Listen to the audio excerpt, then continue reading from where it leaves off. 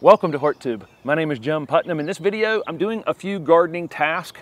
Uh, last week, I put up a video on how to expand a garden bed or how to uh, make a garden bed.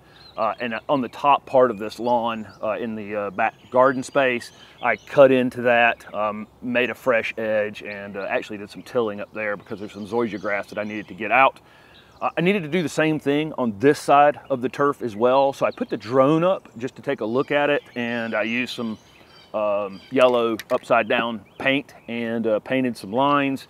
And then uh, again, did the same operation that I did up there, less the tiller. Um, I edged it, um, took out the grass and uh, then put in a nice edge.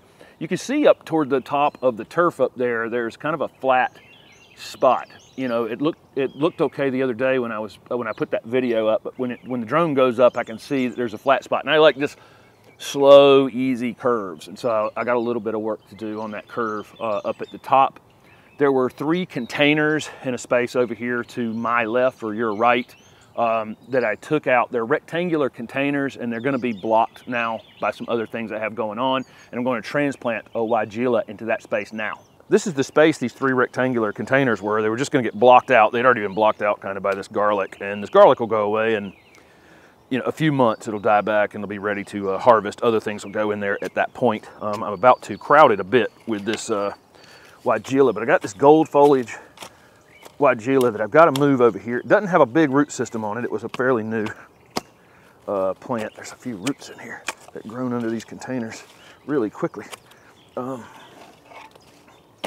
I know there's not a lot of roots on that thing because I moved it not that long ago, but I'm gonna go ahead and prepare a bit of a hole because it will be a disturbed root system when I bring it over here.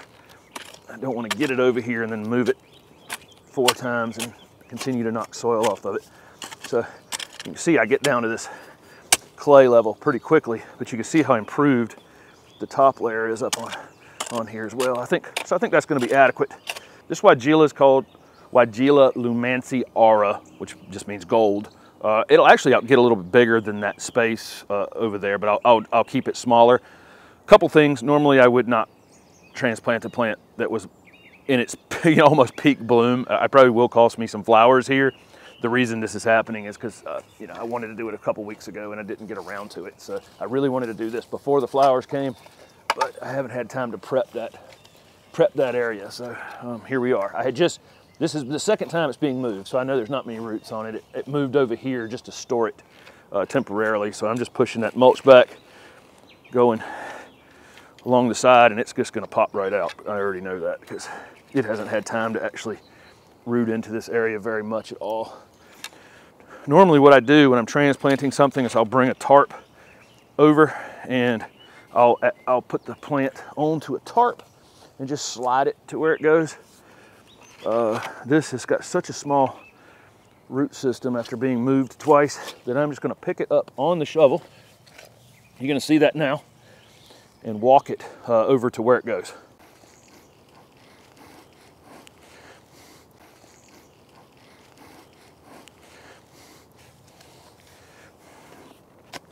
Once I get it where it's going, um, the depth of my hole seems fine. I wanna leave it up just a bit.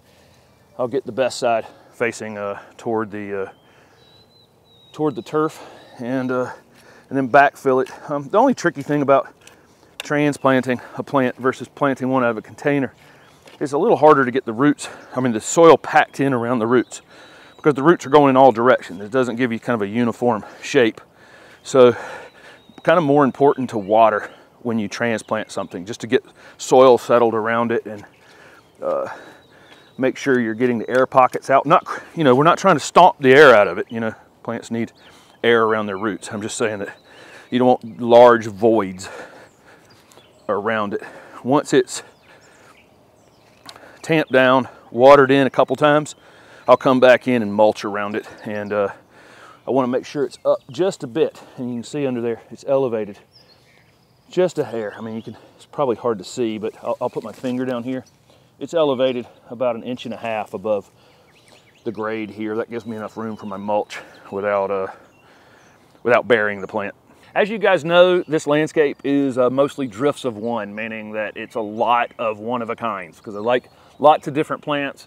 Don't want to limit myself to, you know, just a few things uh, in the landscape. Other people landscape differently, but this is how I like to do it. There's a few things in the landscape that have three or five or, you know, as many as seven, but most of it's in ones. And you find when you landscape this way that you are going to have to move something occasionally. Uh, this, um, actually, this Weigela, the first time it was moved was because it wasn't getting quite enough, uh, quite enough light. Uh, it, it, needs part shade, otherwise it burns in the uh, sun. So this is, it's in a good spot now, but it was in too much shade uh, before, and that was the reason it was stretching, as you can see.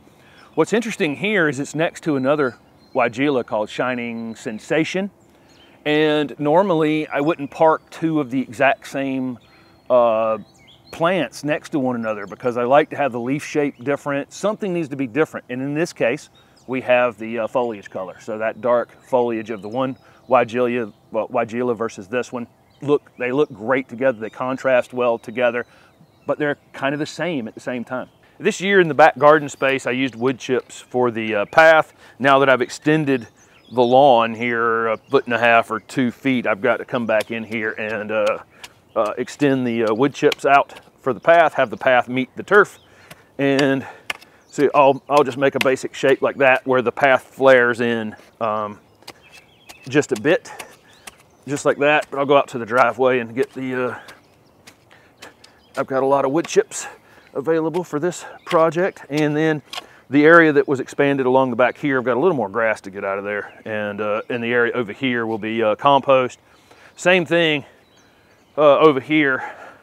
Got a compost, compost this area. Actually have a little more grass. I haven't gotten out of here yet. Um, and then this path, which comes in here, um, needs to uh, just to be extended out to the turf.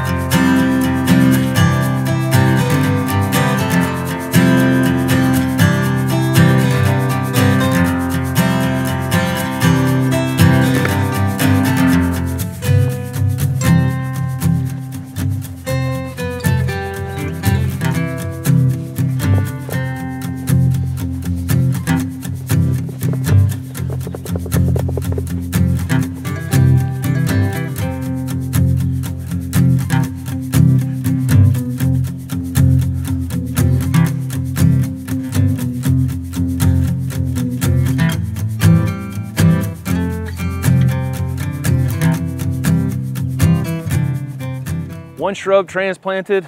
Uh, the beds are wider, the turf is smaller, the paths are longer.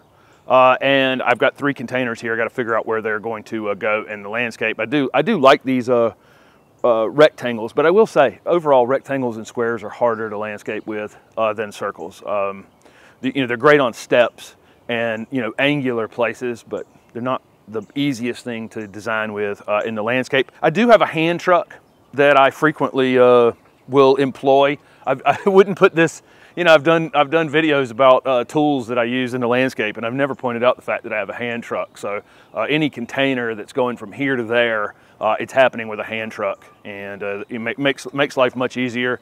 Uh, definitely uh, easier on the back. I picked the small one up and the, and the medium one, that larger one, hand truck every time. So I think this looks pretty, pretty good. And the Swiss chard, the pansies, uh, the garlic, uh, some other things in here that are uh, winter annuals uh, get to stay a little while longer, and my summer annuals get to go in here next week.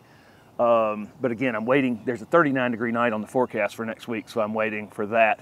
And I think the overall shape of the lawn is actually better, despite the fact it's actually going to become a patio uh, at, at some point. And this is the, I think, probably finished size uh, that the patio will be. Um, so, and I think uh, design wise, I've got some ideas on something pretty clever. I've got some kind of antiquish bricks uh, that are going to be used and some stone as well. So hopefully that'll be an interesting project when that one comes up. So thank you guys for following along with the channel and a ton of stuff going in the ground here in the next month. Thanks for watching.